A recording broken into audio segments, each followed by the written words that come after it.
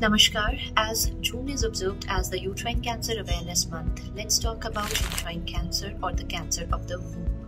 It usually affects the elderly females or the postmenopausal females but may happen in the females as early as 30 years of age. The risk factors of developing cancer includes diabetes, hypertension, obesity, polycystic ovarian syndromes, early menarche, late menopause, inability to conceive, or inability to have a baby. In certain females, they have a genetic predisposition to developing uterine cancer when they have the familial relatives having a uterine cancer or the cancer of the colon in the family. Such females needs to be screened for the same from the early ages. Now, the symptoms with which the uterine cancer presents include abnormal uterine bleeding or any growth which is being picked up on an ultrasound with postmenopausal bleeding or spotting and constitutional symptoms which includes loss of weight, loss of appetite or bloating. We usually get ultrasound for such patient for the diagnosis of the C endometrium. We look for the endometrial thickness or any growths